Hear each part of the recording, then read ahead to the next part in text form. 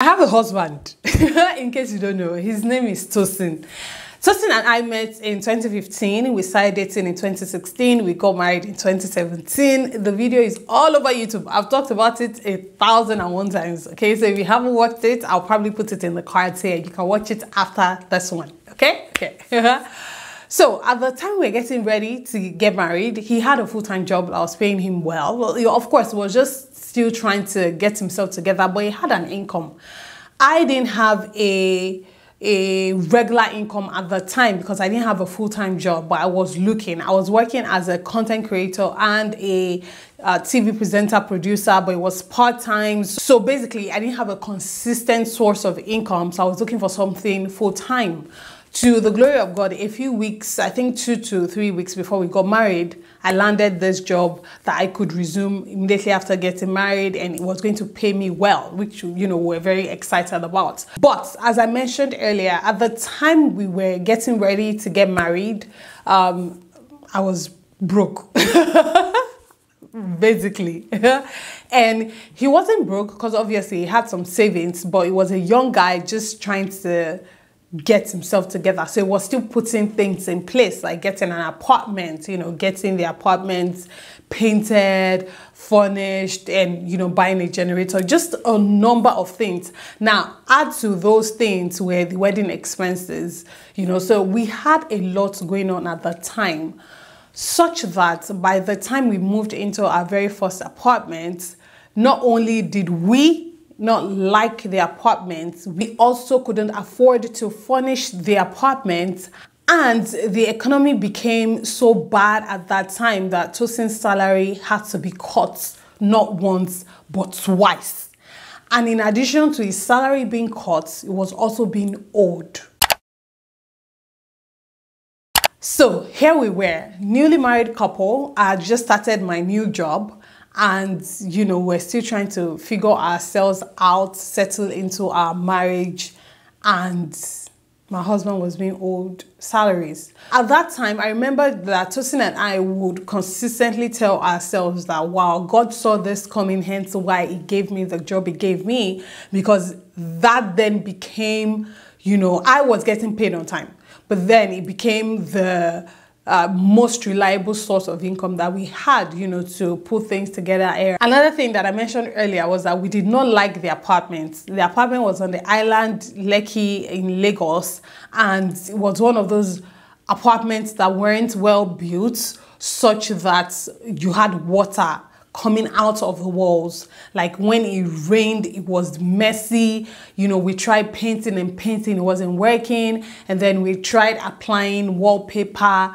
and the, the water would seep through the wallpaper. It was a mess. I remember that, you know, it was supposed to be a two bedroom, two bath you know, and I'm doing like this because you, you know how, well, you might not know, but some of you might know how those houses can be, right? Those apartments in Lekki can be where they are calling this very tiny room a bedroom. Was something like that. We had to completely shut off the bathroom in the master bedroom because it just was not it at all. Like we just completely completely blocked it off. We never used it. We would always use the other bathroom. The water was bad, it was brown, you know, it was just, it was just a lot going on. I, I remember we walked into that apartment one day and I said to Tosin, I said, we're not going to have kids in this house. And I said it as a matter of fact. And he looked at me, he was taken aback by how powerful, you know, that statement was. And I said to him, I said, you know, God grants the desires of our hearts. I was like, look at this house. I don't want to bring a baby, a child into this house. I don't want to be worried that I have a child crawling around and he's digging his hands or she's digging her hands into all this. Like, I, and he completely understood what I was talking about. It wasn't even like we were trying to have a child at the time anyway, because with everything that was going on with our finances, holding off on having a child was just like the thing for us to do. And that was what we agreed to do, to wait. I've also talked about that on the channel, so let's not rehash that again. Point being that our finances at the time weren't things to write home about, you know. But God is such a gracious God because we were eating well, we were sleeping well, you know, we would go to church, would dance. You know how they say that thank God that we don't look like what we are going through. That was our testimony at that time because as far as we're concerned, as far as our friends, our family were concerned, we were a newly married couple in their honeymoon phase, you know, and that was what they saw. But for us, it was a very, the first year was a very peculiar period for us because we are also trying to navigate marriage together, you know, and as they say, the first year of marriage is usually one of the hardest years because you're just stepping into it and trying to figure it out. So amidst all of that, we had financial struggles. And I remember vividly because we could only afford one chair just because I needed to shoot YouTube videos. And Tosin was like, okay, let's just do one chair that you can sit on to shoot your videos and then we'll figure out the remaining later. And that was what we were able to do. If I have any video, I, which I do, I have on my movie channel, I'll just post some here just so you can see what it looks like. So at the time, you know, people didn't, I never did a house tour, so people didn't know what the situation was. I guess people might have even assumed that maybe I was sitting in my filming room. Meanwhile, that was our living room. Once you entered, you saw everything, you know, I practically turned our living room into a studio because it was empty anyway. So another thing during that year was that Tosin did not like us having guests over. He did not like us, you know, having friends over because it was like, where are they going to sit? It just, it just was never comfortable with it. And I remember I had to have a conversation with him. I was like, listen, number one, I, I don't have a lot of friends. If my friends are going to come around, I'm going to let them come around. And I said, and then I said, number two, is that I don't keep friends around me that are judgmental. I don't have, because I don't have a lot of friends, I'm very peculiar. You know, I'm very, did I say peculiar? I'm very deliberate. I'm very intentional about the type of friends I have, the, the type of people I share my life with. So I told him that the friends I have are friends that are going to come visit me and sit on the floor happily if that is where I'm sitting. That they are not ones that, you know, snicker behind your back or make jest of you or gossip. No, no, no, no. I don't keep such people around me to the glory of God. I'm blessed in a number of ways and I can say to the glory of God, I'm blessed with people that are good and genuine people. And I am ever grateful for that. In that season of our lives, I remember that I did so many things to build up my husband because I knew his hesitation to having friends over wasn't because he didn't like our friends. It was because he wasn't happy, wasn't satisfied with our living situation at the time and he didn't want to share it with other people. And I understood that as a man who is the head of a home he must have been feeling quote unquote inadequate you know, because of the different financial struggles we were going through. So I spent a lot of time during that year building up my husband, just building him up by prayer, building him up, you know, with words, building him up with his job, just constantly encouraging him, constantly letting him know how happy I am. But you know, all of this was possible also because of God and because I understood the person I was married to and I knew he wasn't a lazy man. You know, day in, day out, I saw how hard he was working at his job, how hard he was working at improving himself, trying to better himself, trying to trying to provide for our home, even with what he had coming in. I saw the kind of man that he was. In fact, Tosin will tell you that I said to him, you know, that listen, I know you. You're not a lazy man. You know me. I'm not a lazy woman. This right here, this is not the end. We are just getting started and we will move. that was the attitude that I had. That was the spirit that we had. That was that it, it, ah, if we, this is where we are right now, we are going to live here with rejoicing and thanksgiving. I'm not going to hide. I'm not going to quit YouTube just because I don't want to show my house. I'm, and even at the time, I wasn't doing lifestyle content. I was still like very much into Olori wasn't born then. I was still very much into my movie content. So it was just like strictly movie, you know, red carpet events type of content I was creating. The little bits that you saw of our home was just, you know, whenever I sat, whatever you saw behind me. And that was it, right? So, but at the same time, I wasn't ashamed to show that. I wasn't ashamed to share of myself. I had been doing that long before I met my husband. I'm not going to disappear now. I have people that have been following me since I opened my very first YouTube channel, you know, and they're still here and they're part of the journey, part of the growth. So I wasn't ashamed to show up as I was. Take me as I am or go away. If you're not happy with it, if you're not comfortable with it, where I am right now, on the way to where I am going to, then you're not my audience. Do you understand what I'm saying? And I'm not going to force you to stay. I'm not going to let you run me into a cave or to go into hiding just because, you know, I'm not in a mansion or a 10 bedroom apartment.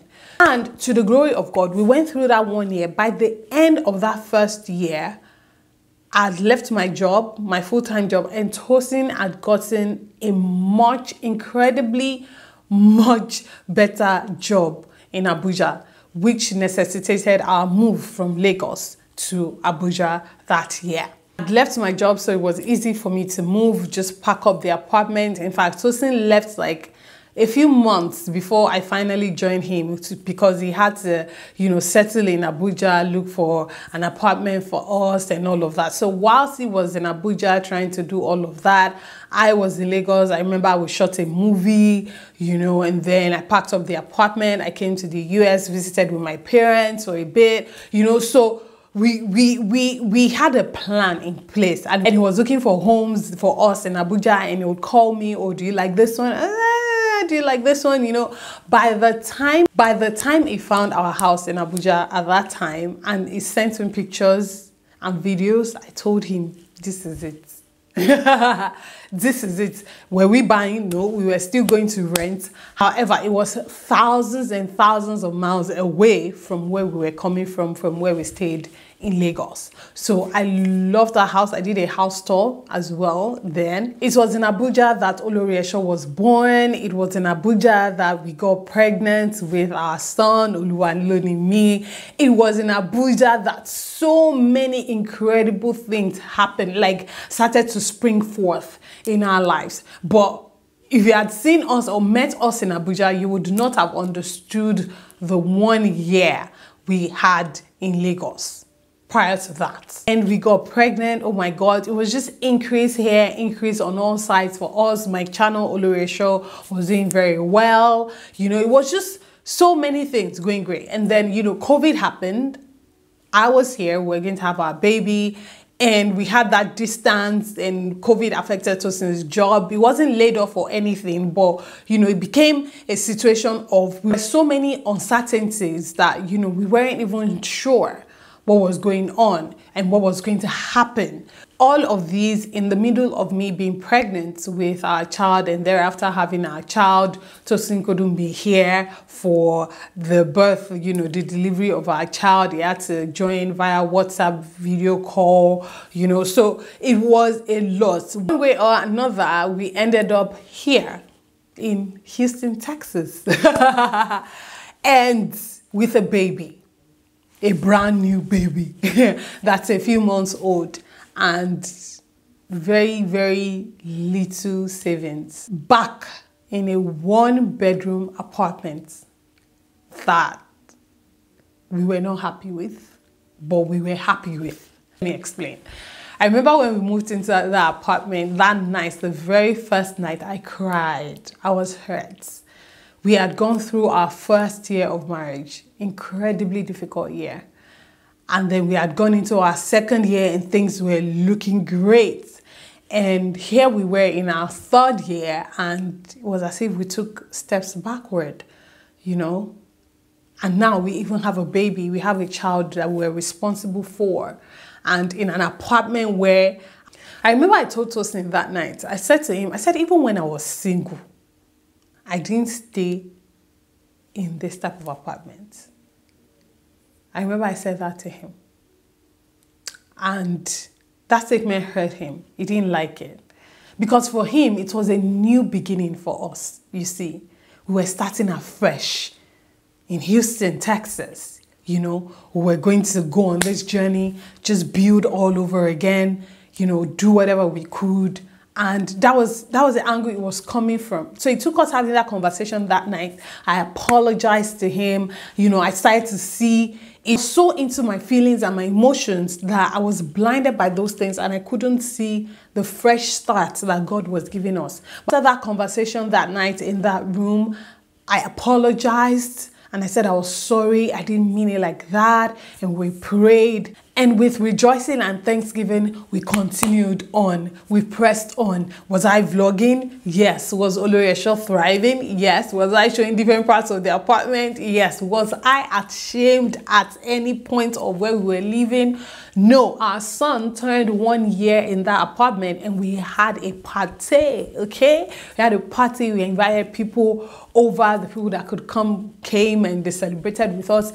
There was nothing for me to be ashamed about. Because you know what? You are on your way to where God is taking you to. Where you are right now is not where you are ever, ever, ever going to be. As long as you keep moving, as long as you keep taking th those steps, as long as you keep moving. You've been with us on this channel for a while, then you'd know that my husband went through another one year and three months or four months of not having a job one year or three, he should do that video by himself one day when he has the time. but he's at work right now. That's why he can't be here to do this video with me. But he went through another, that was, that, that was an incredible, he still says he's going to write a book about it because it was an incredibly difficult period where I was working full time. I was doing YouTube. I was working a full time job. We had a baby. So it was all a situation of, I have to take care of my family. My family is my family. So, you know, I have to do what I have to do, right? And I love my family. You know, I have to take care of my family.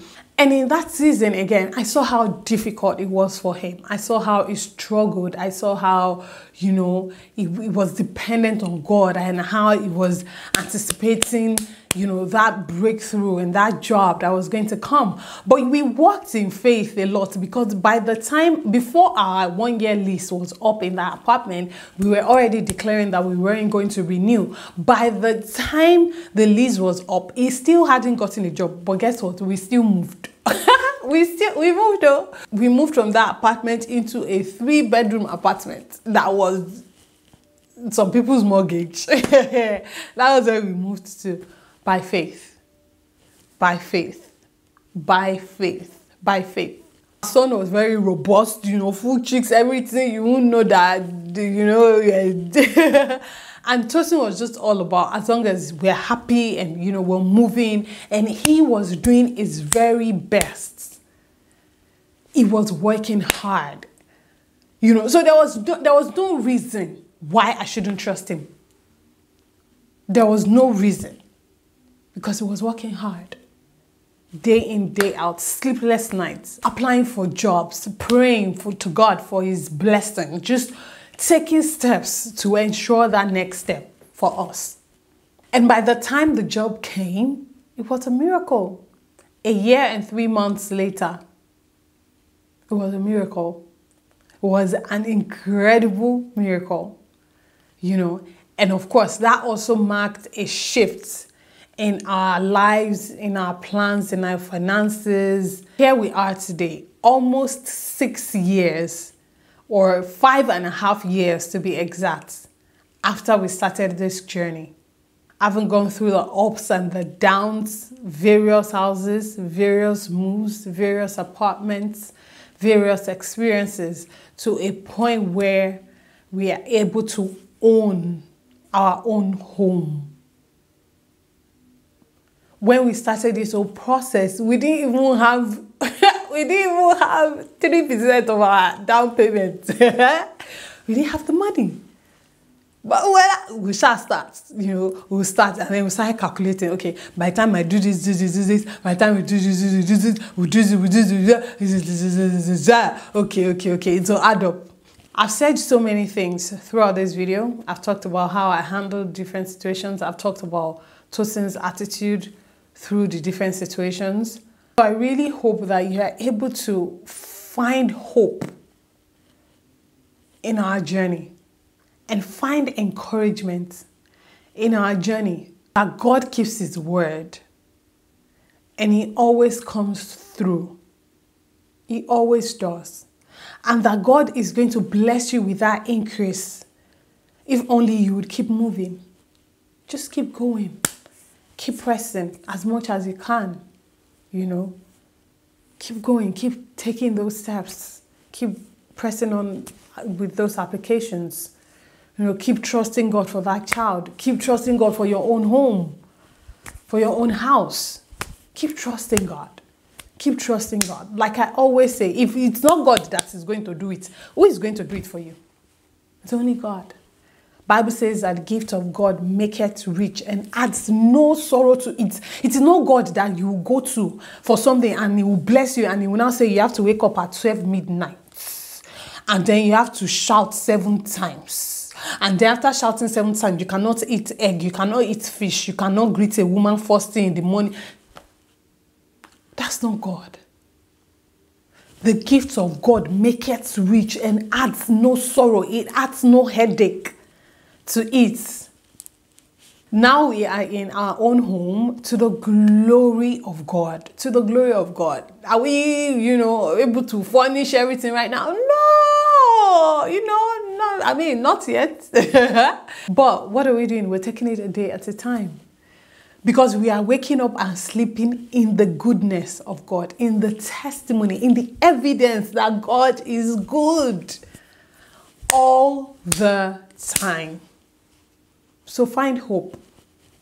This is even a story of my journey from when we got married to today. This is not a story of my journey from when I was single, which some of y'all know you know, from being in the US, moving to Nigeria, the struggle. I think I even had that video on YouTube where I was crying. I was like, so much connectable connected sent me. it's been a long journey. And I'm not there yet. I'm not there yet. You people, I'm not there yet. You know, I'm not there yet. You, you know. you know that I'm not there yet. You know that I'm not there yet. But it's okay. I am moving. I'm taking steps. I'm moving. Abi, I'm doing the best I can per time, moving, trusting God for his increase, and celebrating the increase when it comes. To be happening to other people in one week, in two weeks. That's great. Let it happen to me when God has proposed it to happen to me. Don't work with other people's clocks. Don't be obsessed with other people's timing. Trust God that in your life, He will make all things beautiful in His time. And your light will shine in Jesus' name. Amen. Thank you so much for watching. Are you subscribed to the channel? If you're not, do so right now. I hope this story inspired you, encouraged you, gave you hope. If it did, then please share your thoughts, comments in the comment section. You know, don't keep it to yourself. Don't keep me to yourself as well. Share me with your loved ones, especially if you're in the US. Please, you people, if you're in the US, my Instagram needs US audience greatly, mightily. Help me. Share me. Please. Tell your people that in the US to follow me. You, okay, people think I'm joking. It's okay, it's no problem. It's no problem. It's no problem. God is good. Thank you so much for watching. I love you so much. I can't wait to see you again very, very soon. I pray God blesses you, your homes, your marriages, your relationships. Most importantly, I pray God blesses you. Remaining God and God bless you. Bye.